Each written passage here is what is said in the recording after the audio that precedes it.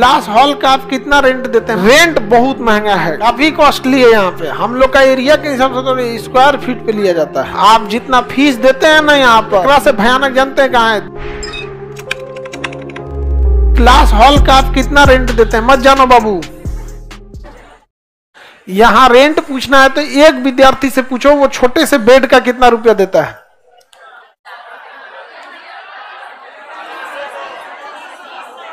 हाँ?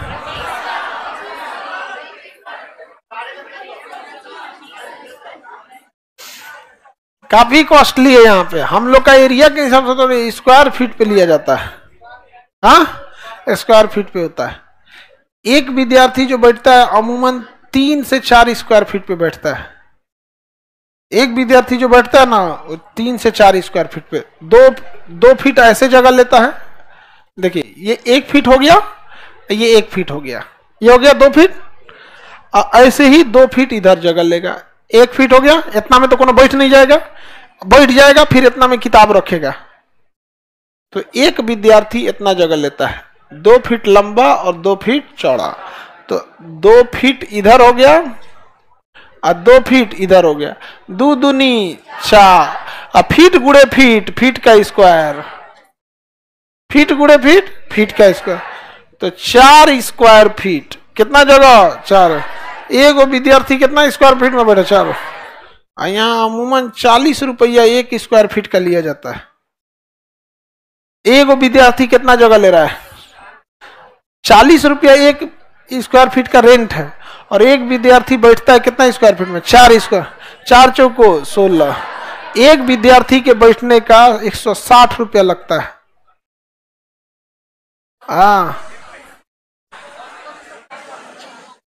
अब आइडिया लगा लीजिए आप लोग का। आप जितना फ़ीस देते हैं ना यहाँ पर आप गुड़ा कर लीजिएगा एक आपका जितना दिन क्लास करिएगा उतना से। समझ आ गया? आ, हम हमको जानते हैं क्या लिए इतना विरोध झेलना पड़ता है? इसी सब के लिए। क्योंकि हमारा क्या है कि नो प्रॉफिट नो लॉस एकदम मार्जिनल पे चलते रहना यहाँ पर। कोई खर्चा उर्चा है नहीं हमारा। हाँ हमारा कहाँ कौन चीज़ का खर्चा है? कहियो ना बढ़ने वाला है खर्चा हमारा।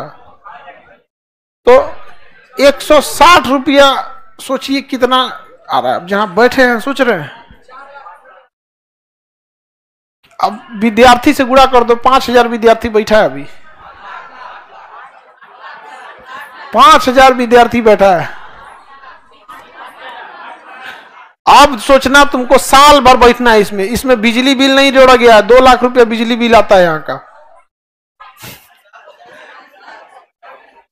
अब जो फ़ीस देते हो, एक बार सोच के देना, हम आप कहते गारंटी कहते हैं कि आप अपने खुद के भाई को इस फ़ीस में नहीं पढ़ा पाइएगा। आप नहीं पढ़ा पाएँगे यहाँ पर।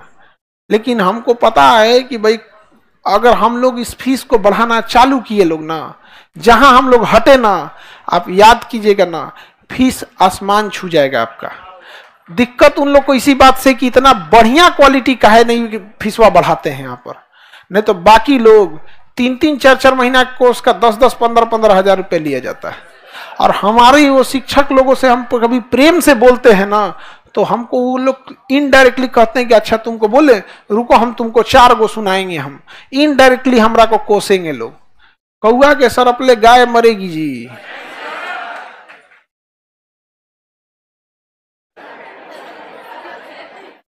तो अभी रेंट बहुत महँगा है। कहा का? पटना का। एकरा से भयानक जानते हैं कहाँ है? दिल्ली। वहाँ यहाँ तो कितना रुपए स्क्वायर फीट है? चालीस ना? वहाँ और ज़्यादा है।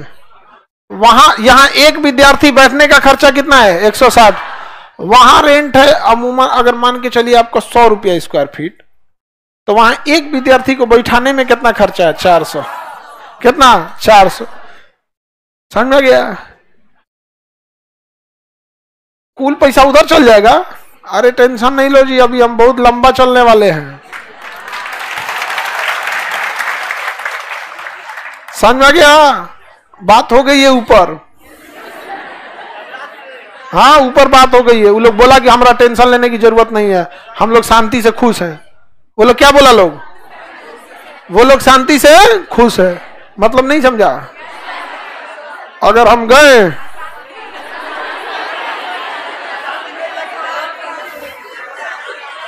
उस लोक में अशांति का जनक समझा गया? नरक में आदमी क्लास लेगा। स्वर्ग वाला आके क्लास करेगा? हम लोग स्वर्ग में नहीं जा सकते। और अगर आपको ऐसा उम्मीद है तो जितना जल्दी इस भ्रम से बाहर निकलिए आप लोग। भर गया जगह स्वर्ग में का। बस आप लोग भगवान से प्रार्थना कीजिए, खुदा से दुआ कीजिए कि नरक में बैठने का जगह मिले। ना ठेला ठेली नरक में हुआ तो आप कहिएगा जितना जनसंख्या है। तो हम लोग को भैया बहुत ज़्यादा ख्वाहिश नहीं है। बैठने का जगह मिल जाए। ना तो खड़े खड़े पीटेगा सब उसमें। नहीं तो नरक वाला यहाँ पे। स्वर्ग में काला लड़का जाएगा बस।